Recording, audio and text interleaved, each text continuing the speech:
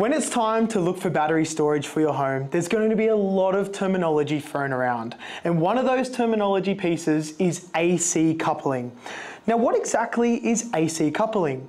AC coupling is when we bolt up a battery to your home and it's connected to your existing electrical infrastructure through what's called AC coupling. This means we connect the battery to your existing inverter via 230 volts or 400 volts three phase if your home's three phase. Now, AC coupling has some great advantages, like we can bolt any battery up to almost any system. In fact, you don't even need a solar system for a battery to work when we AC couple. There are some great AC coupled batteries on the market like the Tesla Powerwall 3, the Enphase IQ5P home battery, and of course the Sigenergy SigenStor. These batteries can be AC coupled no matter what the brand of inverter that you already have on your home is, including Enphase microinverters.